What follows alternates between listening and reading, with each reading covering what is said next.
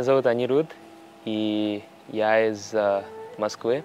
До моего приезда в Ашрам я полностью растерялся и не знал, что сделать э, в своей жизни. Я учился э, на первом курсе университета и впал в депрессию.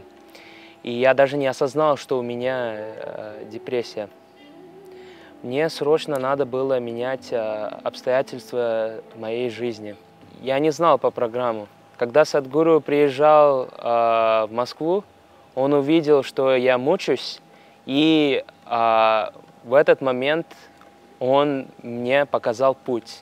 Для меня он самый мудрый человек э, на свете. Я всегда пытаюсь э, создать графику и его соблюдать, но у меня никогда не получилось.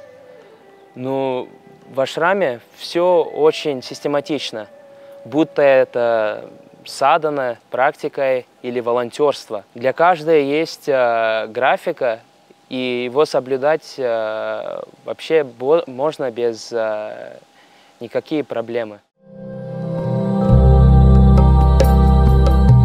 Я считаю, что эта программа бесплатная, потому что она бесценная.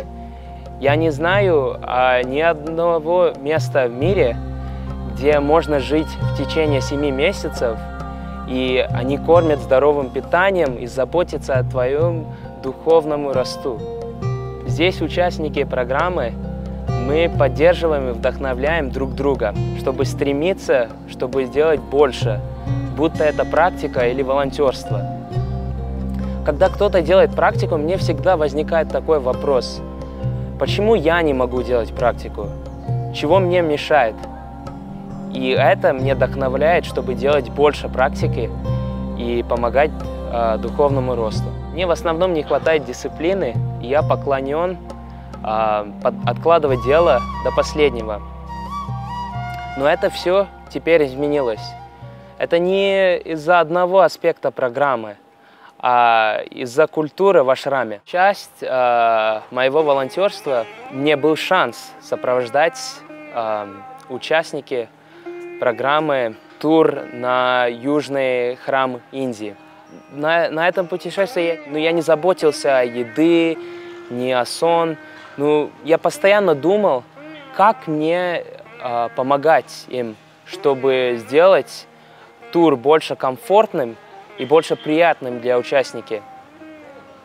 И я, для меня я думал как-то, что я отдаю больше себя на, на процессу, но в итоге я получил больше удовольствия, чем я отдал.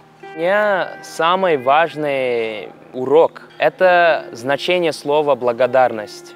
Это мне только, не только поможет в университете или дома, а вообще в жизни – и я благодарен всем и всему.